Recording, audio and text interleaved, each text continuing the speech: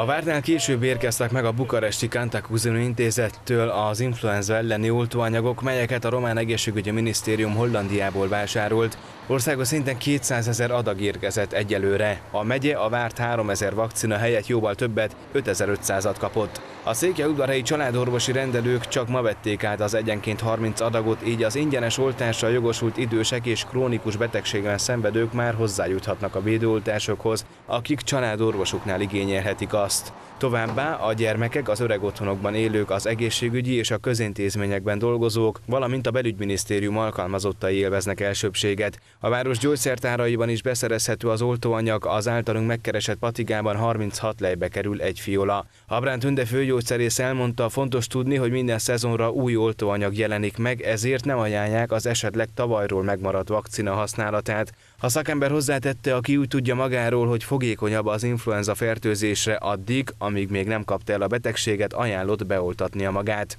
A főgyógyszerész elmondta, ő munkatársaival együtt, ahogy megjelenik az új oltóanyag, beoltják egymást.